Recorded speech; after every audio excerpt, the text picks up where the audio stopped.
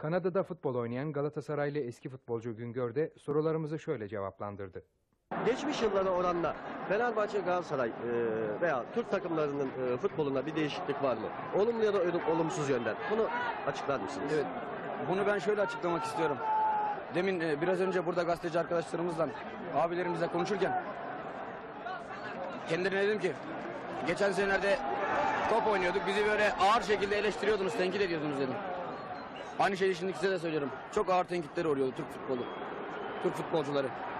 Ama şu an şuraya bakıyorum ki size hak vermemek elde değil yani. Gerçekten şu an ilk devreyi seyrettim. Ortada futbol diye bir şey yok.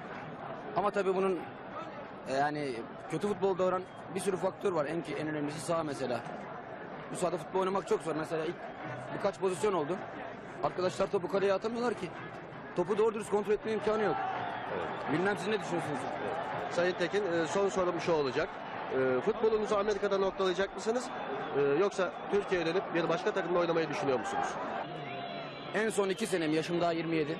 En son iki senemi burada geçireceğim. İyi bir şekilde futbolumu Türkiye'de noktalayacağım. Ben memleketimi çok özlüyorum, çok seviyorum. Seyircimi seviyorum en, en önemlisi.